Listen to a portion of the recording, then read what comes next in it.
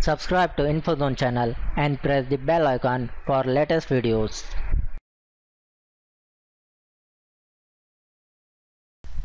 Hey guys, welcome back again. Now today in this video I will show you how to fix your Windows error code 1053.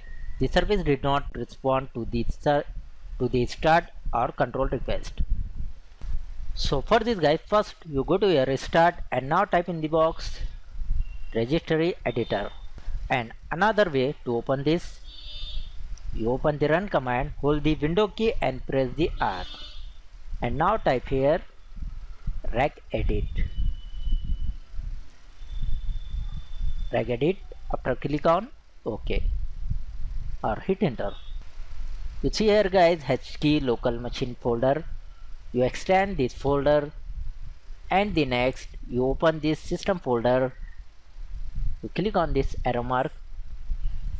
Next you open this current control set. You say this you see this folder and open to it. And finally guys you select this control folder. You select this folder and in the right side panel you need to create guys a new file.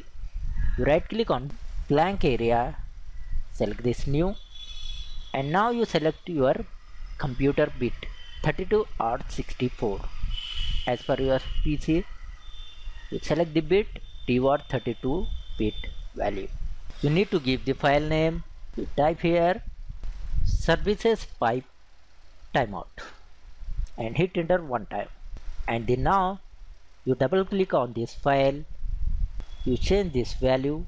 Now type here 1818 double zero double zero one eight double zero double zero. After guys you click on ok and restart your computer. Hopefully guys after this it will fix your problem. So thanks for watching. Please like share and subscribe to my channel